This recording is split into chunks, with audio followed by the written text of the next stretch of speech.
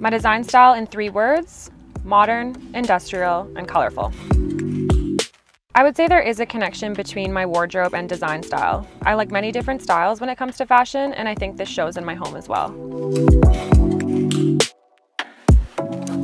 The space I love the most in my home would definitely be the living room. We get the most beautiful view of the city through our 20 foot ceilings. Natural light is so recharging to me. When I first think of Saskatoon, I think of the river, our bridges, and the Bessborough Hotel. It truly is one of the most beautiful cities.